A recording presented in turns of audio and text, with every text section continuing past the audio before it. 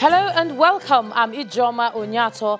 Tonight, court orders arrest of former Minister of Petroleum Diezani Alison Madueke, sentences two INEC officials to 21 years in prison over 362 million naira collected from her during the 2015 general elections. Senate begins probe of the Federal High Court invasion in Abuja by DSS operatives as the body of senior advocates of Nigeria weighed into the matter. House of Representatives passes bill to compel submission of ministerial portfolios alongside list of nominees to the National Assembly by the President. And voters across the United Kingdom turn out in their millions in a general election to decide their leader for the next four years. On business news tonight, International Finance Corporation's country manager recommends creation of special court to handle dispute between borrowers and lenders in credit market. On sports news tonight, Arsenal Football Club seal a spot in the knockout phase of the UEFA Europa League. And from Abuja, Inspector General of Police suspends planned rally by the All Progressives Congress in Edo State as some APC supporters stage protest against proposed event.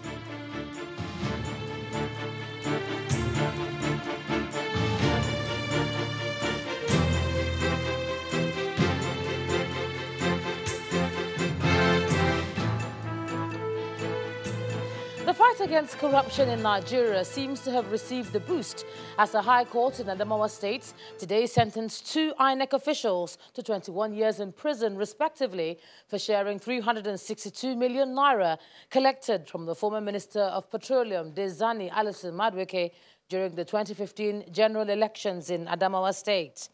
The trial judge, Justice Nathan Musa, convicted the two officials after they were found guilty of the three counts. The judge ruled that the evidence from the 15 witnesses presented by the Economic and Financial Crimes Commission, including the suspects' testimonies, proved their involvement beyond any reasonable doubt. The EFCC had arraigned Ibrahim Muhammad and Sahabo Iya Haman before the court, alongside the third defendant, Mrs. Diezani Alison Madueke, who was said to be at large. Justice Musa notes that out of the 362 million naira they collected, only 5% of the amount was shared among the INF staff. They could not account for the balance as they claimed that hoodlums attacked one of them and carted away part of the money, a claim the court said they could not substantiate. We did our best and the court, in order to guide the court to arrive at a just and fair judgment. And today, we thank God we have arrived at that. The court has made a very sound and good pronouncement. We're happy with that. If you could recall, the court clearly made an order that we, to, we are to liaise with other law enforcement agencies, Interpol and other agencies, to see her bring, uh, brought back to face her own trial. And we surely hit to that to comply with the order of the court. They were charged under the uh, Corrupt Practice and Other Related Offences Act 2000. That's the conspiracy, corruptly uh, procuring monetary benefit, as well as also benefiting from the corrupt proceeds of the crime. Meanwhile, the court has ordered the Inspector General of Police to liaise with the International Police Organization, Interpol, to arrest the former Minister of Petroleum Resources, Diezani Alison Madueke. Mrs. Alison Madueke is among the three defendants accused of deploying over 362 million naira derived from a $115 million slush fund to influence the outcome of the 2015 presidential elections in favor of the candidates of the then ruling People's Democratic Party. The former petroleum minister has been outside the country since 2015 and had alerted federal authorities that she's been undergoing treatment for cancer in the United Kingdom. Now let's stay with legal matters a bit. Now, this time on the invasion of the Federal High Court Abuja by the officials of the DSS in a bid to re-arrest the convener of Revolution Now, Omoyele Sowore, the body of senior advocates of Nigeria is demanding a probe into the invasion, and they say the troubling aspect of the incident was the audacity with which some of the actors entered the courtroom, thereby exposing a hallmark of indiscipline to the whole world. A representative of the senior lawyers, Mr. Thomas Okpoko, made the comment at a valedictory session for Justice Kumai Aka'ahs in Abuja. Our correspondent Amaka Okafor reports. It's a gathering of members of the bar and the bench, retired jurists, friends, family, and well wishers at a valedictory session for Justice Kumai Aka'ahs of the Supreme Court. Of the various jurisdictions. Even though the event is the send forth of a jurist who has served the country for 33 years, it was an avenue for legal practitioners to bear their minds on the current events in the nation's judiciary. The body of senior advocate hereby demands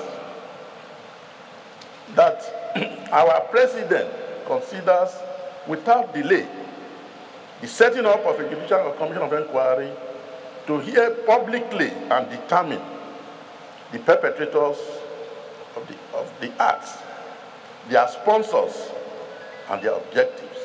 Also of concern to the body of senior lawyers and the Nigerian Bar Association is the constant flouting of court orders by some organizations. We urge the courts to demonstrate that they are not toothless in sanctioning persons who flagrantly disobey and flout court orders. They need to be denied audience before any and all courts during the pendency of their contemptuous conduct. They need to know that disobedience of court orders can be and is costly. At a separate meeting of the justices of the appeal court, the Chief Justice of Nigeria, in answering questions on the intimidation of the judiciary, has this to say. Uh, Mr. Mbaba is, um, Honorable Justice Mbaba is saying that uh, we have a lot to blame, we ourselves, because the executive, yes, has to execute, and uh, the position of judiciary in Nigeria, we are still facing a lot of intimidations here and there. So he says we have a lot to, be, to, to blame, we ourselves. Meaning, in other words, that we are, we, have, we are contributing factor to whatever happens to us. Now, I don't know, I don't know, I don't know uh, where to start. Now, you see, our profession does not encourage us to go a begging and we cannot do that. But otherwise, a committee should have been set up. Let it go and discuss with the officials of government, that is the executive. The judiciary has been in the eye of the storm in recent times, and it may just be time for stakeholders to stand up and be firm to preserve the rule of law. Amaka Okafor, Channels Television News. Meanwhile, the Senate has asked its Committee on Judiciary, Human Rights and Legal Matters to investigate the reported invasion. Now, this follows a point of order moved by the chairman of the committee, Senator Opeyemi Bamidele, who noted that Nigerians had raised a lot of concern in different quarters on the issue. He explains that the leadership and members of the judiciary were particularly concerned about the development.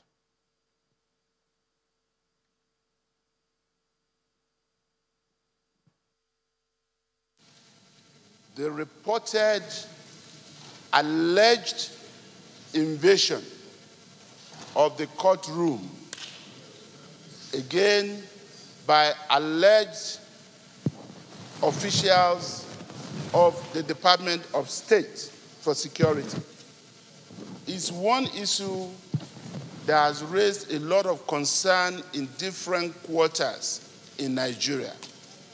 Mr. President, distinguished colleagues, the leadership and members of the judiciary are particularly concerned about this development because they believe, like the rest of us do, that the courtroom is meant to be a sanctuary.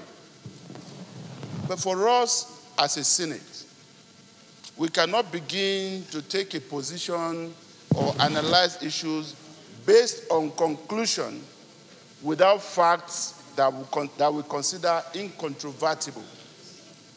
Yet, much as we cannot just jump into conclusions, it's also a fact that we cannot pretend not to know that Nigerians are concerned about this development. In the meantime, the Sultan of Sokoto and President General of the Nigeria Supreme Council of Islamic Affairs, Alhaji Saad Abubakar, has also lent his voice to the raging controversy over the reported cases of disobedience to court orders. At an event in the nation's capital, Abuja, today, the Sultan warns that the disobedience to any court order is a recipe for lawlessness and chaos. The monarch noted that everyone must be law-abiding in the interest of national development and must regularly obey and respect the laws of the land. The Sultan also calls for interreligious dialogue in the country, noting that it would foster a better understanding among the people.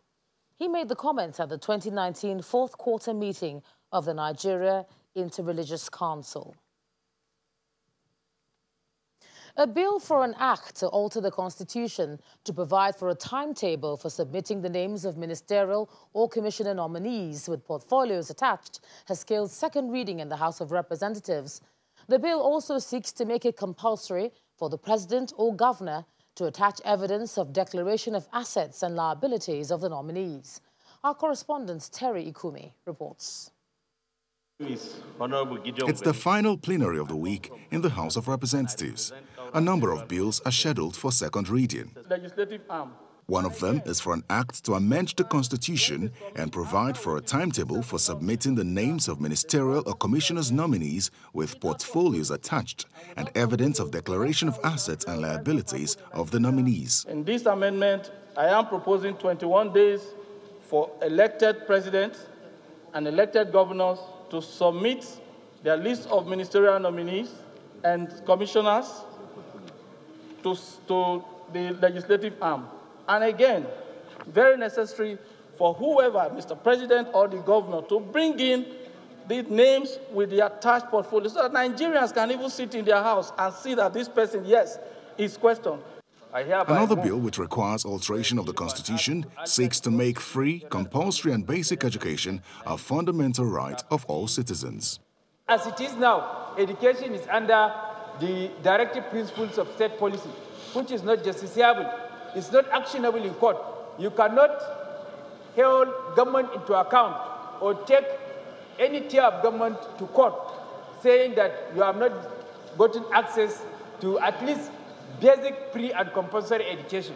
A third bill seeks to amend the Legislative House's Powers and Privileges Act 2017 to provide punishment on the police or any other law enforcement agent who refuses to arrest any person as directed by a legislative house, especially persons who fail to honor a summon of a legislative house. Even though section 129 of the Constitution empowers the National Assembly and state assemblies to compel, arrest, to, to compel attendance or appearance before committees through arrests and fines. The punishment so prescribed have been so mild the Legislative Houses Act 2017 permits a legislative house to issue a warrant of arrest on any person. But does it conflict with Chapter 5 of the 1999 Constitution, which does not expressly say the word arrest, but only empowers a legislative house to issue a warrant to compel the attendance of any person who, after being summoned to attend, fails, refuses, or neglects to do so? Terry Ikumi, Channels Television News. In part two, after the break, President Buhari and his Egyptian counterpart, Abdel Fattah el-Sisi, pledged to collaborate to eliminate terrorism in parts of Africa. That's in a moment. Please stay with us.